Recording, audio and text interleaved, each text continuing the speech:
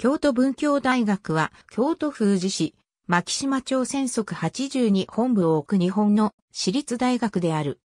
1996年に設置された。大学の略称は区部。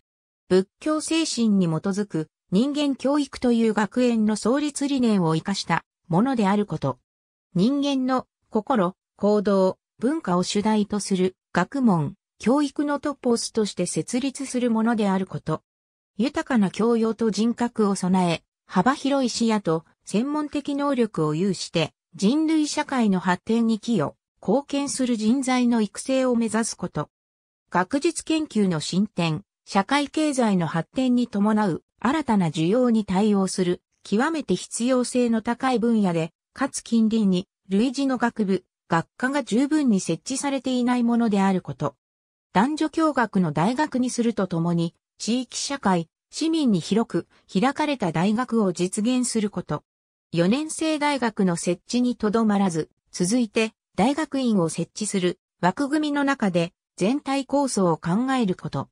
京都文教学園の見学の精神は仏教の基本とも言うべき、美保家であり、これを三具祭月聖堂書大学園長はと表現した。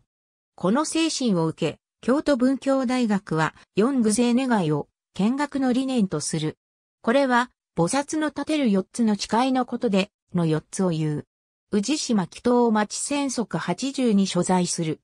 学部研究科付属機関採択されている、プログラム資格取得京都文教公開講座京都文教短期大学エクステンションセンター運営。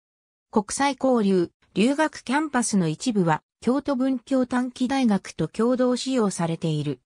学生と地域の人々との地域連携、地域交流の場として、平成19年6月に、宇治市宇治一番の宇治橋通り商店街に、同年10月に、京都市伏見区東大手町の伏見、大手筋商店街にそれぞれオープンした。